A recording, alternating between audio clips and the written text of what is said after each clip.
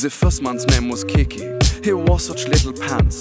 His brother was the champion, but Kiki loved to dance.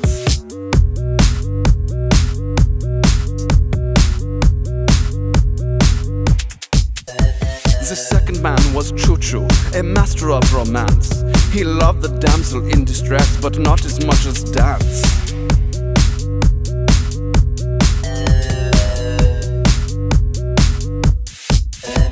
And then one day it happened. They went off to the world. They went on to a journey, idolized by the boys and girls. They learned so many lessons in all the foreign lands. But no matter where they wound up, they never stopped the dance.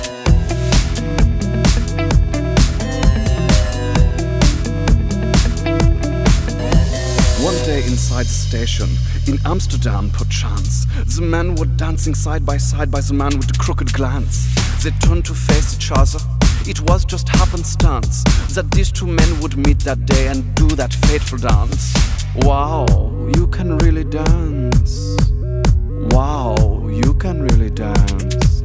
He went, he went. They said we've both been dancing all this time. What a coincidence!